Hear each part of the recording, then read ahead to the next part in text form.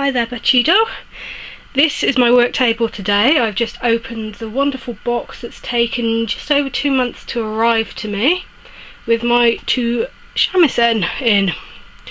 Uh, there's a definite difference in quality so I thought I'd do a little video and you could all you guys could have a look.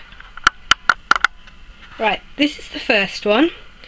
It's a nice red colour and it's got a lot of dings and nicks on it and it feels a little bit older than the other one that I have and that's okay but that will need to be reskinned right there.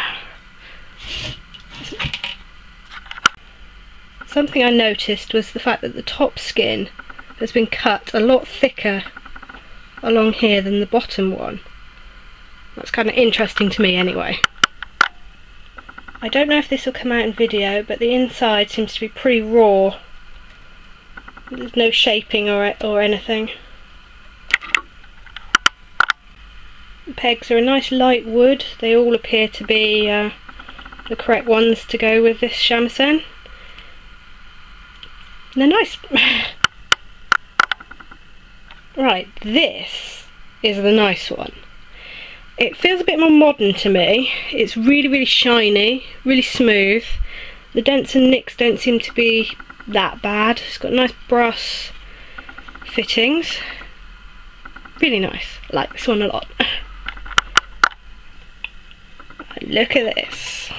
I have real mixed feelings about using animal skin like cat and dog, but I can't be helped. It's traditional, so there we go.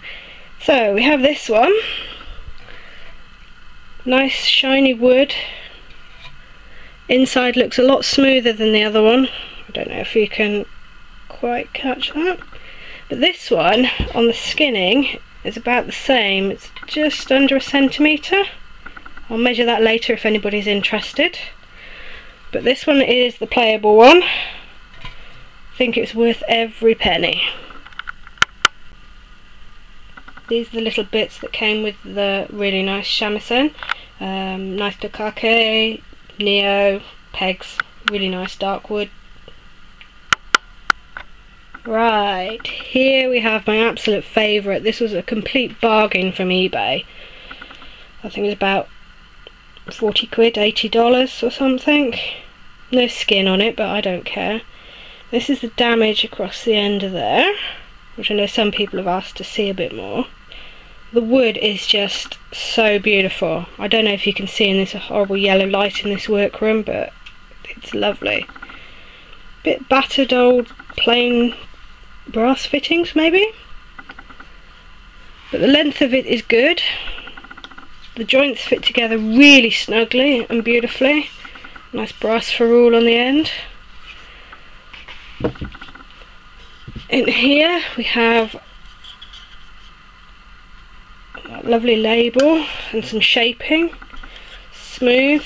It's obviously been reskinned a load of times but here we go. A little bit of repairs to the inside. But nice and sound. Joints all fit together nothing moving. That needs a little bit of a bash to just tighten that up a bit. When I get this one reskinned this was probably going to be the one I play. This is probably going to be my baby. Itomaki, well,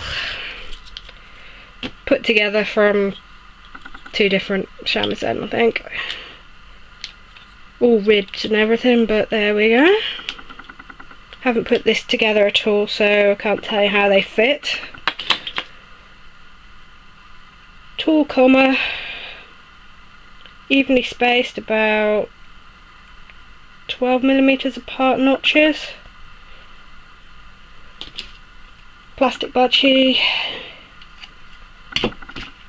strings.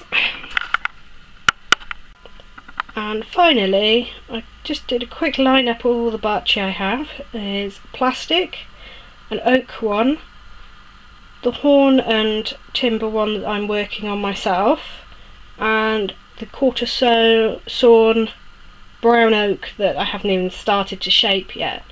But they're all roughly about the same size, although the plastic one seems to be really heavy and bigger for some reason, although it's not. But I still need to make the this one, the horn and wood one, a little bit smaller to be more the size of the Tsugaru shamisen bachi. So there we have it. That's my quick review of these. And I will give updates on reskinning and everything as time goes on and I get all the bits together. See you guys!